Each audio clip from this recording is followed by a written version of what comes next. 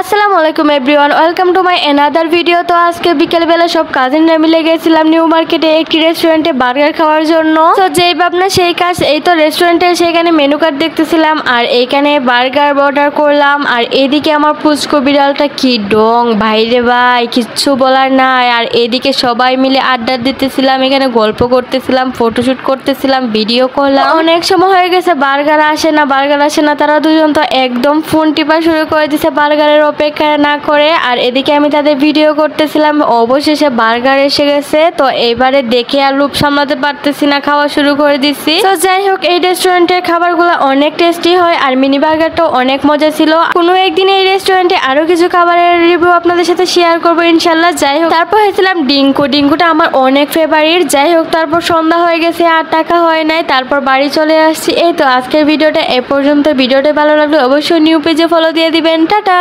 Dadah.